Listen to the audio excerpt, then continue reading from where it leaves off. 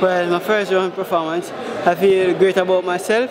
You know, I just came out here and just do my best and qualify.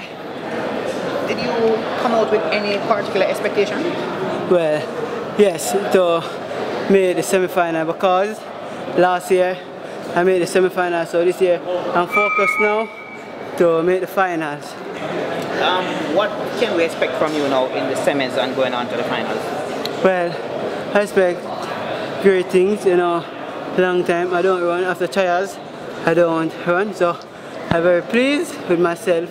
You know, I'm still in 44 shape, so I want to give God thanks. Um, how, how, how have you prepared to come to this championship, the second world championship? Did you prepare any way different for this one? No, I don't prepare any way for this one.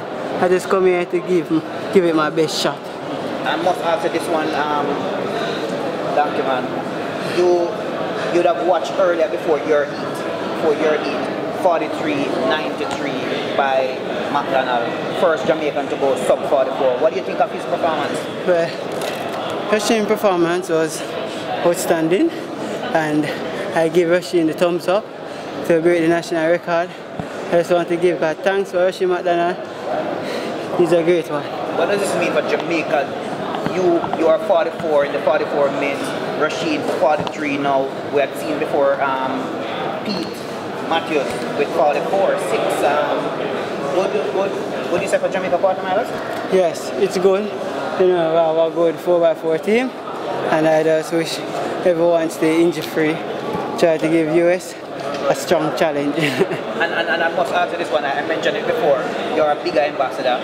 Yeah. Do you have any Bigga soft drinks here in, in China with you? yes, Have Bigga soft drinks, but still need more to perform it best of my ability, you know, that uh, I just want to give Bigga a thumbs up to sponsor me and I will make the, the product itself be a best product for me.